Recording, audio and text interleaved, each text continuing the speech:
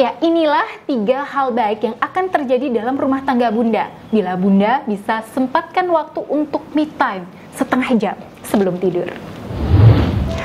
Assalamualaikum warahmatullahi wabarakatuh. Ya sahabat Bunda yang dirahmati oleh Allah.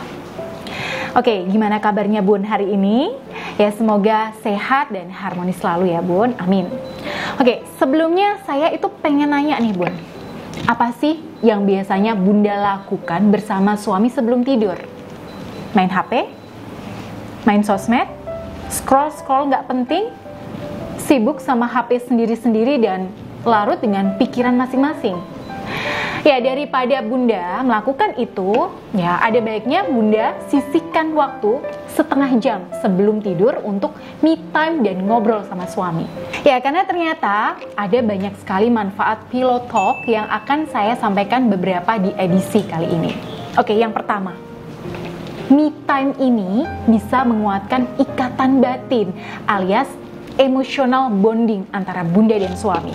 Jadi kalau semisal bunda dan suami tadinya sering merasa hambar, kikuk, dan bahkan mungkin sering salah paham, ya insya Allah dengan me time bareng suami sebelum tidur ini bisa mencairkan ketegangan dalam hubungan. Nah, Selain uh, bisa menguatkan ikatan batin bunda dan suami, me time dengan suami sebelum tidur itu juga bisa bikin suami lebih jujur dan terbuka dengan bunda. Kok bisa? Ya, soalnya begini bun. Dengan semakin kuatnya ikatan batin bunda dengan suami, bunda dan suami akan merasa saling nyaman satu sama lain. Nah, ketika suami merasa nyaman, dia akan merasa bebas ngomong apa aja ke bunda.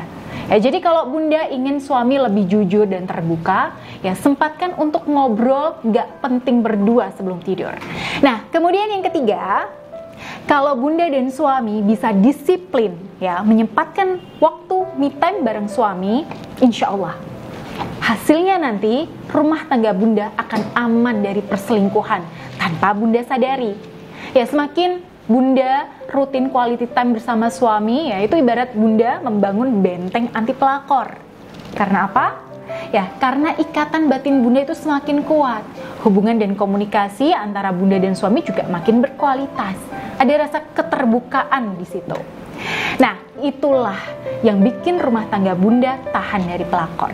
Ya, coba mulai malam ini ya bun, sempetin me time berdua sama suami. Nah, bunda bisa bikin janji dulu sama suami. Misalnya nih, sejak maghrib, bunda bilang kalau bunda pengen ngobrol dan cerita-cerita sama suami sebelum tidur.